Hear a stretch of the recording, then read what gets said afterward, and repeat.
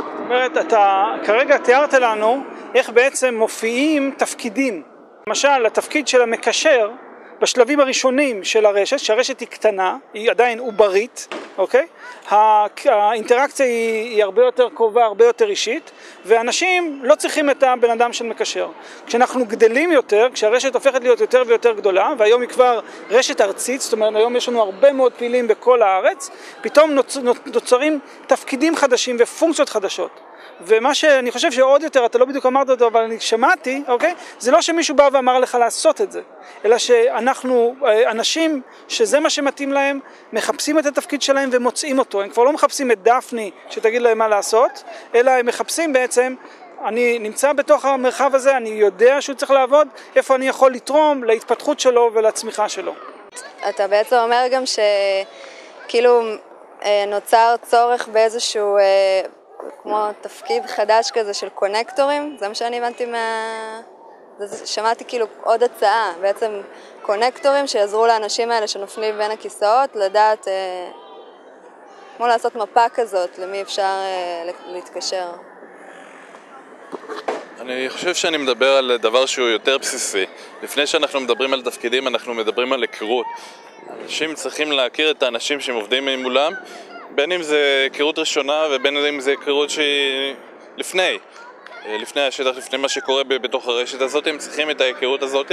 בשלב הבא הם צריכים גם לפתח את האמון ורק אז הם יוכלו להתקדם. בעצם אה, כאשר יש מישהו שיש היכרות איתו ויש אמון אה, כלפיו, האנשים בעצם אה, מרגישים בטוחים כדי להיפתח ולגשת ולשאול ולקחת חלק בעשייה הזאתי. מה שאתה מצייר פה זה נשמע ממש ממש מעולה. זה נשמע שכדי להרחיב את הרשת ולאפשר לאנשים יותר להיכנס, אז אתה מתאר לי פה מצב שיש אנשים שאפשר להתקרב אליהם, שהם שמים את עצמם בתור, במקום כזה, שהם אומרים לך, בעצם אתה רוצה לדעת מה קורה, אני יכול לעדכן אותך ולעזור לך בעצם להתקרב לאנשים הפעילים, במילה כזו או אחרת.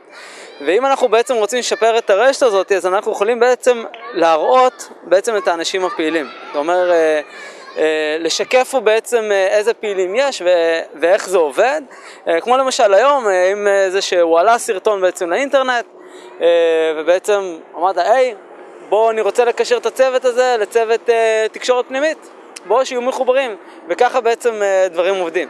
ולאנשים שבכלל לא מכירים את הרשת הזאת, אז בעצם האם עכשיו כדאי לנו מאוד מאוד להתמקד ולהמציא דרכים של להראות ליותר אנשים מי הם האנשים הפעילים, אלה שמוכנים בעצם להיות נגישים לאנשים חדשים שבאים. כי אני מבין שיש את האנשים הפעילים שהם כל כך עסוקים שאין להם כרגע אה, סבלנות, מה שנקרא, אה, לבן אדם חדש שמגיע והוא רוצה כרגע, יש לו שאלות ולמי לפנות ועם מי להתייעץ, אני מבין שיש כאלה שהם פחות אה, כרגע יספקו כזאת עבודה.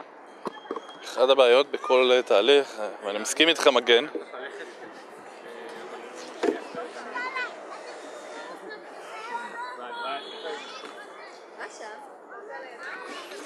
שהייתי אמור לשמור על השעון, השעה היא שבע וחצי. אני רציתי אבל...